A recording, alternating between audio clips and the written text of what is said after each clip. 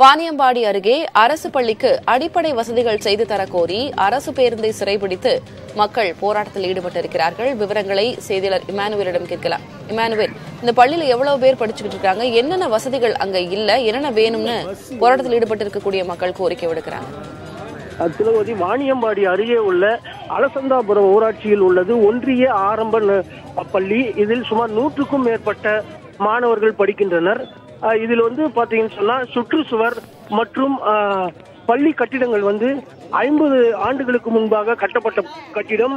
இதற்கு உடனடியாக சுற்றுச்சுவர் மற்றும் கட்டிடங்களை உடனடியாக கட்டித்தரக் கோரி ஆந்திராவிலிருந்து வாணியம்படி செல்லக்கூடிய சாலையில் சாலை மறியல் போராட்டத்தில் ஈடுபட்டு வராங்க. தற்போதைய கள விவரங்களை வழங்கியதற்கு நன்றி மேம்